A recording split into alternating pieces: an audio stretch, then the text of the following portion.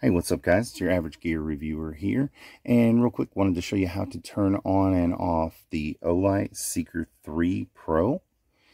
When I first got this, it, it really was confusing to me. Um, it, but it's so simple. There is a dial around this blue button.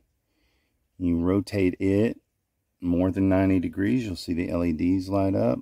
And then you have hold for two seconds will get you the low light moonlight mode.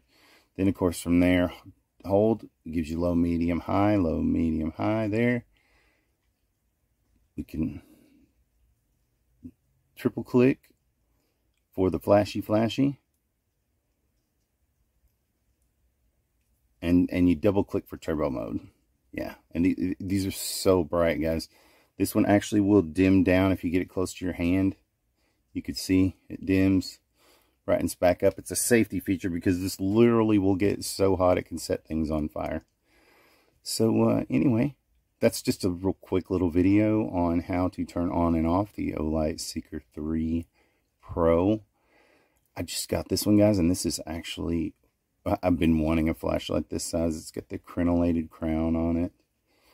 Um, I don't know if you can see this. It's like soft textured grips on the side of it. Of course, it charges with the tail cap like the others.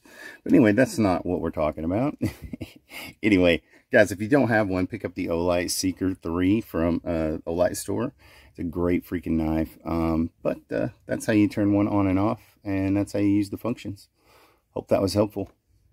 Hey, thanks for watching and really appreciate it. Leave a like if you enjoyed the video and consider subscribing for more content. Leave a comment down below. It really helps us grow the channel. Follow us on Facebook and Instagram at Average Gear Review and on Twitter at average underscore gear.